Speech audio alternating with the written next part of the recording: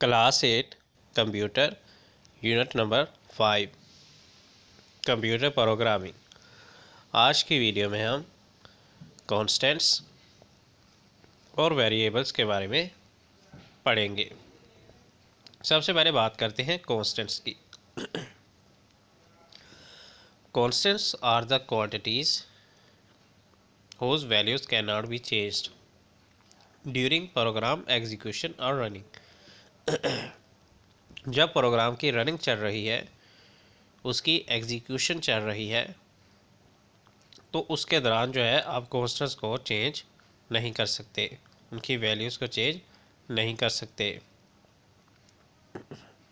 These are the named spaces in the computer's memory constants are classified as string constants and numeric constants constants जो हैं, ये दो तरह के होते हैं।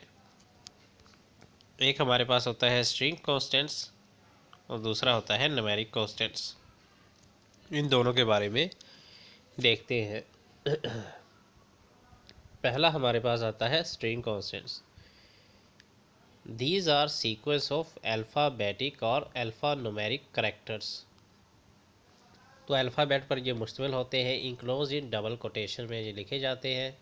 जिस तरह male, married, Harris, Pakistan at age number one zero seven अगर आप यहाँ पे ये वर्ड्स देखें तो ये जो है, इनके आसपास क्या है? हमने दो लाइन सी लगाई हुई हैं।